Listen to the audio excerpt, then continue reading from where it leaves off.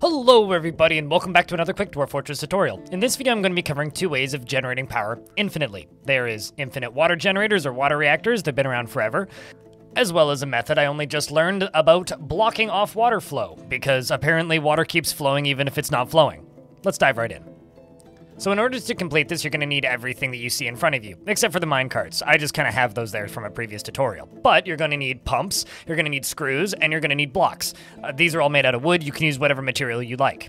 First, we're going to start off by digging a hole. Now, we're doing this above ground, however, you can also do this below ground. I'm doing this above ground just for my own ease of creating the video. If you're going to do this below ground, simply build the exact same design, except obviously channel it all out instead of constructing walls at the edge. Now, the lip in the center, that is where you are going to put your pump. You're going to put a screw pump there. It's going to take a block, it's going to take a pipe section, and it's going to take a gigantic corkscrew.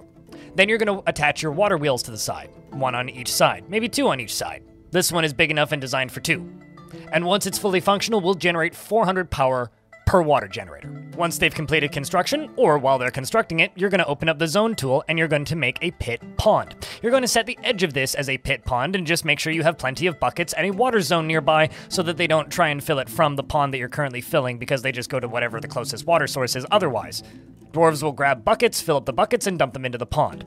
You're going to need to build a wall around the front, just like so, so that the water doesn't spill out. And as the dwarves fill the space, eventually you will have enough water down at the bottom that you can begin pumping. Once the bottom is covered with about two of seven water for filled tiles, you can tell one dwarf to go begin pumping. And this will cause the entire machine to spring to life and begin powering the whole device. If you click on the screw pump and look at the information, it'll give you an example of how consistent the power is. Just allow your dwarves to keep dumping buckets of water into the container at the bottom until it is a steady 400, and then you have an infinite power generator. Congrats, you've unlocked infinite power.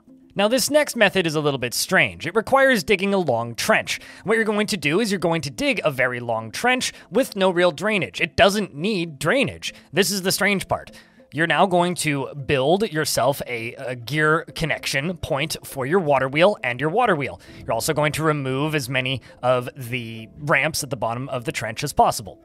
After that, you're going to install a drawbridge on either side of the water wheel. This is going to block off water flow. Simply connect them both to a lever and have them ready to be pulled. Once they're both connected, give that lever a pull. Then channel out the water on the on the side to allow the water to come in. Then drop the drawbridges until your wheel begins spinning, and then pull the lever again, watch the drawbridges raise, and mysteriously, it'll keep spinning. You can now drain the water on either side, and it'll just spin infinitely. You don't need to worry about uh, maintaining power, maintaining flow, and you also don't need to worry about water changing levels, and it doesn't have the same frame rate issues as the infinite power generator. Both of these setups are a little bit cheesy in my opinion and not something I personally will use. However, it is a feat of dwarven engineering and defying physics itself, so Uh, if you wish to use these, enjoy. I hope that you found this video useful, and if you would like to see other videos like it, please check out this YouTube channel where I have many videos like this in the short tutorial series.